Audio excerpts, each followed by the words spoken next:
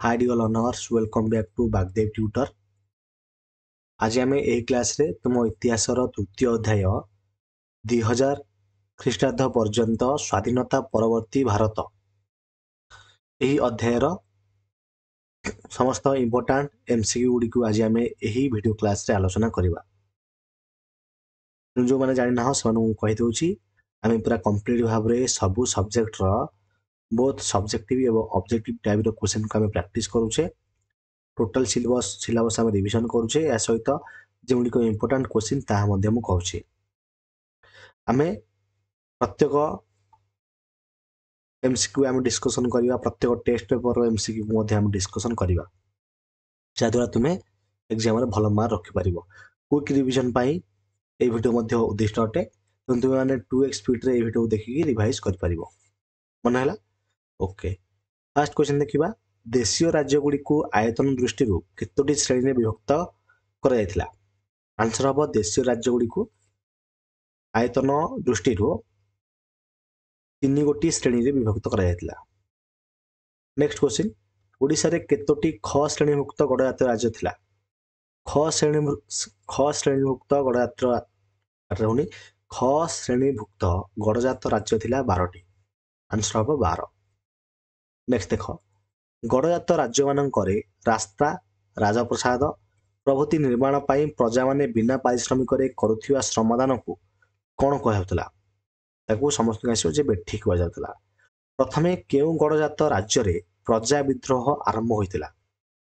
Answer ହେବ ଢେଙ୍କାନାଳ। ମନେରଖ ପ୍ରଥମେ ଢେଙ୍କାନାଳ ରାଜ୍ୟରେ ପ୍ରଜା ବିଦ୍ରୋହ ଆରମ୍ଭ ହୋଇଥିଲା। ପାଞ୍ଚ ନମ୍ବର ଉଣେଇଶହ ଅଣଚାଳିଶରେ କେଉଁ ରାଜ୍ୟରେ ପ୍ରଜାମଣ୍ଡଳ ଆନ୍ଦୋଳନ ଆରମ୍ଭ ହୋଇଥିଲା? ପ୍ରଜାମଣ୍ଡଳ ଆନ୍ଦୋଳନ ଆରମ୍ଭ ହୋଇଥିଲା ତାଳଚେରରେ। ନହେଲେ ଏଟା ତାଳଚେର ହେବ ରାଇଟ୍ ଆନ୍ସର ଉଣେଇଶହ ଅଠତିରିଶରେ ଗଠିତ ଓଡ଼ିଶା ଗଣଜାତ ତଦନ୍ତ କମିଟିର ଅଧ୍ୟକ୍ଷ କିଏ ଥିଲେ? ଅଧ୍ୟକ୍ଷ ଥିଲେ ହରକୃଷ୍ଣ ମହାତା। ଉଣେଇଶହ ଅଠତିରିଶରେ ଗଠିତ ଓଡ଼ିଶା ଗଣଜାତ ତଦନ୍ତ କମିଟିର ଅଧ୍ୟକ୍ଷ ଥିଲେ ହରେକୃଷ୍ଣ ମହାତାବ ମନେ ହେଲା? ସାତ ନମ୍ବର ଦେଖିବା। ହରେକୃଷ୍ଣ ମହାତାବଙ୍କୁ ପରଶୁରାମ ଆଖ୍ୟା କିଏ ଦେଇଥିଲେ? ଆନ୍ସର ହେବ କଳାହାଣ୍ଡି ମହାରାଜା। ମନକ କଳାହାଣ୍ଡି ମହାରାଜ ହରେକୃଷ୍ଣ ମହାତାବଙ୍କୁ ପରଶୁରାମ ଆଖ୍ୟା ଦେଇଥିଲେ।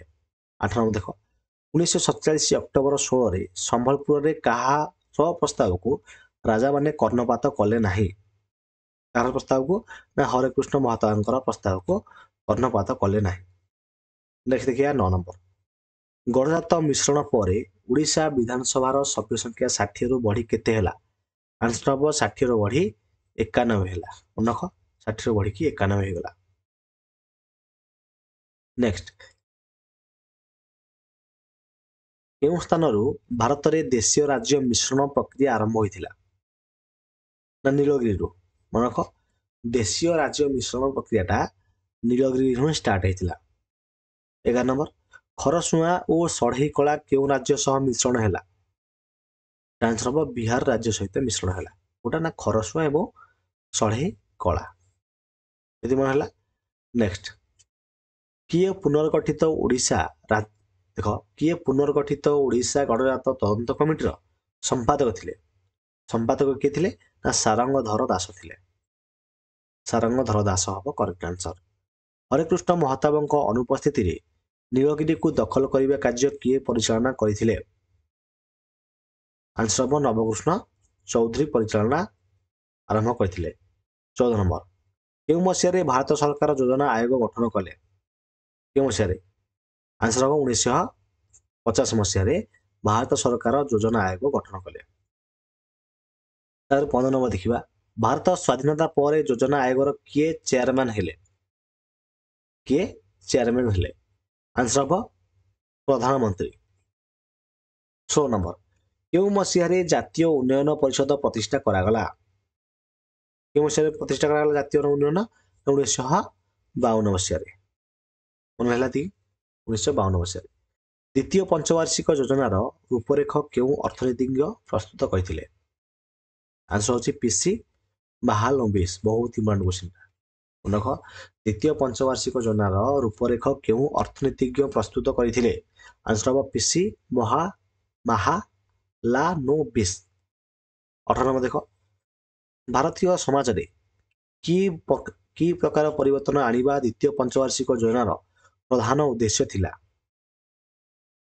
ଆମର ଆନ୍ସର ହେବ ସମାଜବାଦୀ ବ୍ୟବସ୍ଥାର ପ୍ରଚଳନ। ଅପସନ ଏ ବା ଅପସନ କ। କେଉଁ ସମୟ ତୃତୀୟ ପଞ୍ଚବାର୍ଷିକ ଯୋଜନାର କାର୍ଯ୍ୟକାଳ ଥିଲା? ନା ଉଣେଇଶହ ଏକଷଠିରୁ ଉଣେଇଶହ ଛଷଠି ଉଣେଇଶହ ଏକଷଠିରୁ ଉଣେଇଶହ ଛଷଠି ହେଉଛି ଆମର ତୃତୀୟ ପଞ୍ଚବାର୍ଷିକ ଯୋଜନାର ସମୟକାଳ ବା ସମୟସୀମା। ଚତୁର୍ଥ ପଞ୍ଚବାର୍ଷିକ ଯୋଜନାର ମୁଖ୍ୟ ଉଦ୍ଦେଶ୍ୟ କ'ଣ ଥିଲା? ଦେଖ କହିଲ ଚତୁର୍ଥ ପଞ୍ଚବାର୍ଷିକ ଯୋଉ ଯୋଜନା ହେଇଥିଲା ତାର ମୁଖ୍ୟ ଉଦ୍ଦେଶ୍ୟ କ'ଣ ଥିଲା? ତାର ମୁଖ୍ୟ ଉଦ୍ଦେଶ୍ୟ ଥିଲା କୃଷିଜାତ ଦ୍ରବ୍ୟର ଅଧିକ ଉତ୍ପାଦନ। ନେକ୍ସଟ ଉଣେଇଶହ ଅଣସ୍ତରୀରେ କେତୋଟି ବ୍ୟାଙ୍କରୁ କେତୋଟି ବ୍ୟାଙ୍କକୁ ଜାତୀୟକରଣ କରାଯାଇଥିଲା। ଆନ୍ସର ହେବ ଚଉଦଟି ବ୍ୟାଙ୍କକୁ ଜାତୀୟକରଣ କରାଯାଇଥିଲା। ବାଇଶ ନମ୍ବର। ଦ୍ୱିତୀୟ ପଞ୍ଚବାର୍ଷିକ ଯୋଜନାର କାର୍ଯ୍ୟକାଳ କେବେ ଶେଷ ହୋଇଥିଲା? କେବେ ଶେଷ ହୋଇଥିଲା ନା ଉଣେଇଶହ ଏକଷଠିରେ ଶେଷ ହୋଇଥିଲା? ବୁଝିହେଲା? ଉଣେଇଶହ ଏକଷଠି ହେବ କରେକ୍ଟ ଆନ୍ସର ତେଇଶ ନମ୍ବର। ଜାତୀୟ ଆୟର କେତେ ଅଭିବୃଦ୍ଧି ତୃତୀୟ ପଞ୍ଚବାର୍ଷିକ ଯୋଜନାର ଲକ୍ଷ୍ୟ ଥିଲା? ନା ଫାଇଭ ପରସେଣ୍ଟ ଆନ୍ସର ହେଇଯିବ ଫାଇଭ ପରସେଣ୍ଟ କେବେ ଭାରତରେ ଏକ ନୂଆ ଶିଳ୍ପ ନୀତି ଘୋଷିତ ହୋଇଥିଲା? ଏକ ନୂଆ ଶିଳ୍ପ ନୀତି କେବେ ଘୋଷିତ ହୋଇଥିଲା? ଆନ୍ସର ହେବ ଉଣେଇଶହ ଛପନ ମସିହାରେ ଘୋଷିତ ହୋଇଥିଲା। ସମନ୍ୱିତ ଗ୍ରାମ୍ୟ ଉନ୍ନୟନ ଯୋଜନା କେବେ ଆରମ୍ଭ ହେଲା? ଉଣେଇଶହ ଅଠସ୍ତରୀ ମସିହାରେ ଆରମ୍ଭ ହେଲା। ସହରାଞ୍ଚଳରେ ବସବାସ କରୁଥିବା ଯୁବକ ଯୁବତୀଙ୍କର କର୍ମସଂସ୍ଥାନ ପାଇଁ ଆରମ୍ଭ କରାଯାଇଥିବା ଯୋଜନାଟିର ନାମ କ'ଣ? ଯୋଜନାଟିର ନାମ ହେଉଛି ସ୍ୱୟଂ ଜୟନ୍ତୀ ସହରେ ରୋଜଗାର ଯୋଜନା।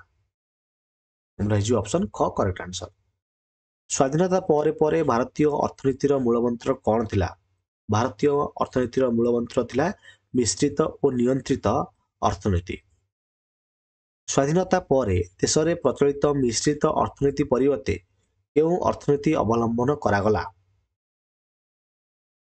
ଆନ୍ସର ହେଉଛି ବିମୁକ୍ତ ଓ ବିମୁକ୍ତ ଓ ଅବାଧ ଅର୍ଥନୀତି ଅବଲମ୍ବନ କରାଗଲା। ଭାରତର ସର୍ବବୃହତ ଆଣବିକ ଗବେଷଣା କେନ୍ଦ୍ର କେଉଁଠାରେ ଅବସ୍ଥିତ? ହେବ ଟ୍ରମ୍ବେଠାରେ ଅବସ୍ଥିତ। କେଉଁଠାରେ? ଟ୍ରମ୍ବେଠାରେ। ବୁଝିଲା ନେକ୍ସଟ କ୍ୱେଶ୍ଚିନ୍ ଉଣେଇଶହ ଚଉରାଅଶୀ ମସିହାରେ କେଉଁଠାରେ ଏକ ଉନ୍ନତ ବୈଷୟିକ ଜ୍ଞାନ କେନ୍ଦ୍ର ପ୍ରତିଷ୍ଠା ହୋଇଛି? କେଉଁଠାରେ ହୋଇଛି? ଆନ୍ସର ହେବ ଆମର ଇନ୍ଦ୍ରଠାରେ ହୋଇଛି। ମନକ କୋଉଠାରେ ହୋଇଛି ନା ଇନ୍ଦ୍ରଠାରେ ହୋଇଛି। ଭାରତର ପ୍ରଥମ ପରମାଣୁ ବୋମା ବିସ୍ଫୋରଣ ପରୀକ୍ଷା କେବେ ହୋଇଥିଲା? କେବେ ହୋଇଥିଲା? ହୋଇଥିଲା କିରେ? ଭାରତର ପ୍ରଥମ ପରମାଣୁ ବୋମା ବିସ୍ଫୋରଣ ପରୀକ୍ଷା କେବେ ହୋଇଥିଲା? କେବେ ହୋଇଥିଲା ନା ଉଣେଇଶହ ଚଉସ୍ତରୀ ମସିହା ମେ ମାସ ଅଠର ତାରିଖରେ ହୋଇଥିଲା? କେଉଁ ରାଷ୍ଟ୍ରର ସହାୟତାରେ ସାମରିକ ପ୍ରଯୁକ୍ତି ବିଦ୍ୟାକୁ ଭାରତରେ ବିକଶିତ କରାଗଲା। ଆନ୍ସର ହେଉଛି ଆମର ସୋଭିଏତ ରୁଷିଆ ରାଷ୍ଟ୍ରର ସହାୟତାରେ। କେଉଁଠାରେ ଏକ କ୍ଷେପଣାସ୍ତ୍ର ପରୀକ୍ଷା କେନ୍ଦ୍ର ପ୍ରତିଷ୍ଠା କରାଯାଇଛି? କ୍ଷେପଣାସ୍ତ୍ର କୋଉଠି ମାନେ ପରୀକ୍ଷା କେନ୍ଦ୍ର କୋଉଠି ପ୍ରତିଷ୍ଠା କରାଯାଇଛି ନା ଚାନ୍ଦିପୁରରେ? ଥୁମ୍ବା ବିଶ୍ୱୀୟ ରକେଟ ଉତ୍କ୍ଷେପଣ କେନ୍ଦ୍ର କେଉଁଠାରେ ଅବସ୍ଥିତ? ଥୁମ୍ବା କେଉଁଠାରେ ଅବସ୍ଥିତ? ନା ଥିରୁବନନ୍ତପୁରମ? ଥିରୁବନନ୍ତପୁରମ ହେବ କରେକ୍ଟ ଆନ୍ସର ନେକ୍ସଟ ଦେଖିବା ଆମେ। ଛତିଶ ନମ୍ବର।